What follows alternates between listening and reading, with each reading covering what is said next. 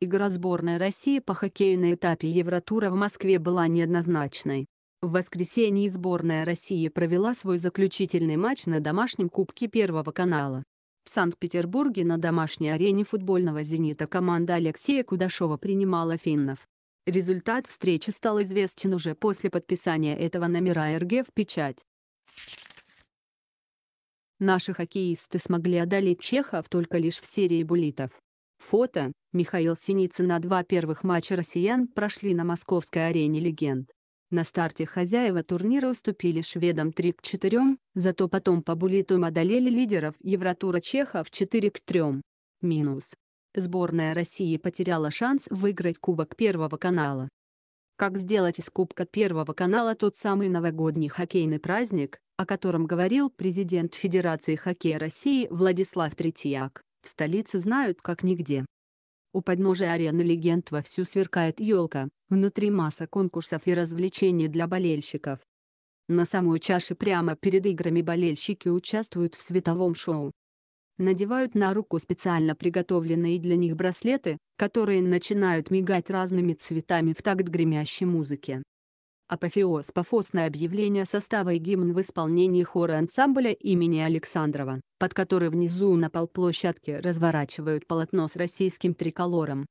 То, что на арене не был замечен напрашивающийся для подобных мероприятий Дед Мороз, даже символично.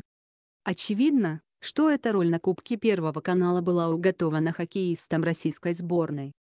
Стала ли игра наших подарком для болельщиков, сказать однозначно трудно. В матче со шведами наши пропустили три шайбы уже к началу второго периода. Остальное время россияне провели в отчаянной погоне, так и не увенчавшись успехом. Чехи до встречи с нашими в Москве выиграли все четыре матча в Евротуре. Значит, победа над ними, пусть и в серии буллитов, шаг вперед. С одной стороны да. С другой россияне при счете 2 двоеточие 0 в свою пользу дали сопернику не только отыграться, но и выйти вперед. В итоге снова пришлось показывать характер. Первое, что бросилось в глаза, огромное количество ошибок в обороне. Шесть шайб за два матча – это слишком много для команды с такими амбициями, как сборная России. В большинстве случаев наши защитники просто не успевали возвращаться в свою зону. Вратарская линия тоже не вызывает абсолютного чувства надежности. Александр Самонов, перешедший по ходу сезона из Витязя в СКА, на этом уровне пока не тянет. В матче со шведами его заменили уже после первого периода. Вышедший на замену Илья Сорокин в целом свой уровень держит. Хотя его сывов оказалось недостаточно, чтобы совладать со шведами, а с чехами не довести дело до булитов. Впрочем, в самой серии после матчевых бросков голкипер был безупречен. Шесть пропущенных шайб в двух матчах – это слишком много для команды с такими амбициями, как сборная России в атаке. Несмотря на обилие заброшенных шайб, настораживает перекос в сторону первой тройки. Спору нет, сочетание Шипачев-Капризов-Григоренко получилось убойным. По большому счету это готовая тройка для чемпионата мира. Парни сделали все три гола в матче со шведами, доминировали в игре с чехами. В овертайме, когда наша команда получила возможность поиграть в большинстве, Шипачев товарищи просто не уходили со льда. Хотелось бы, чтобы от трех других троек помощи было больше. Какие-то проблески этого можно было увидеть уже в матче с чешской командой. Счет открыл Андрей Кузьменко, сравнял Игоря Жиганов.